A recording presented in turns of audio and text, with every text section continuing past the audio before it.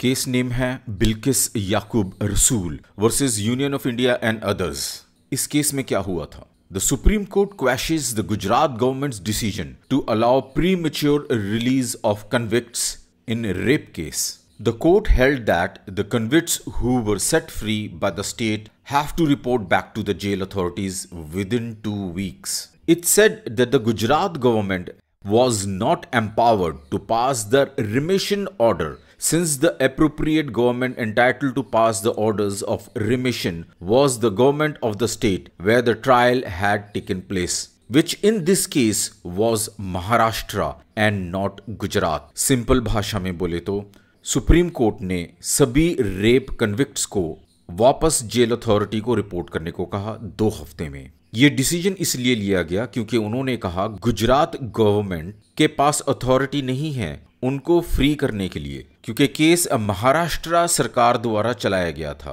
तथा ये अथॉरिटी सिर्फ़ महाराष्ट्र गवर्नमेंट के पास है टू सेट फ्री केस की साइटेशन है writ petition criminal 491 of 2022 judgment date new Delhi January 8 2024 इस केस की जजमेंट आप लॉरैक से डाउनलोड कर सकते हैं। जजमेंट सेक्शन में जाके बिल्किस लिखेंगे तो आपको ये जजमेंट मिल जाएगी। दोबारा मिलते हैं। तब तक के लिए मेरी एक request respect elders love kids make this place a better place to live